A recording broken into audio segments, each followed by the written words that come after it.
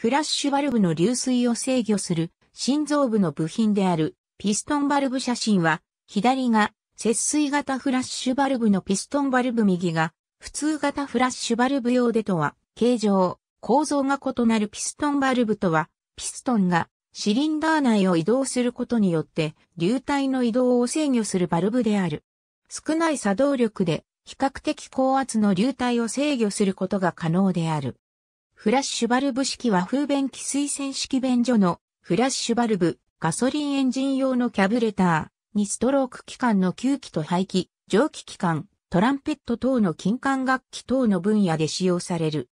水栓式便所では重要な役割を果たしており、フラッシュバルブのピストンバルブが故障すると水が出ない、または水が止まらないなど、水栓便器の流水の制御ができなくなる。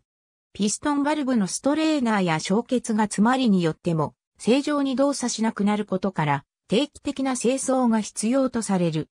水栓便器用ピストンバルブはバルブ上部外周にワン革パッキンが巻かれ中央部にストレーナーがあり下部には案内バネがついておりその中心部にリリーフバルブ先端の起動バネが突出している。